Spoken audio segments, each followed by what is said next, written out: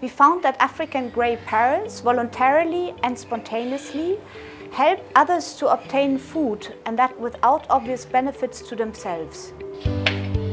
In a situation in which the parrots had access to tokens, they spontaneously transferred them to their neighbor who had none, but who could exchange them for food with an experimenter.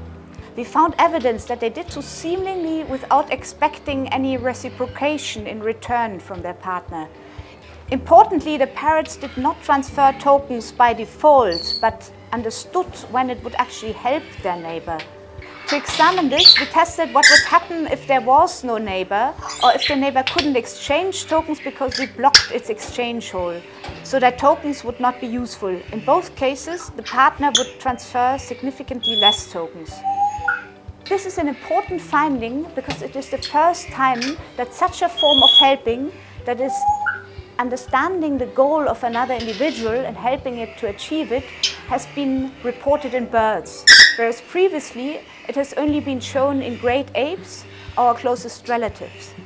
Our study adds to the evidence that the capacity to behave prosocially, a prerequisite for cooperation, has evolved not only in mammals but also convergently in birds.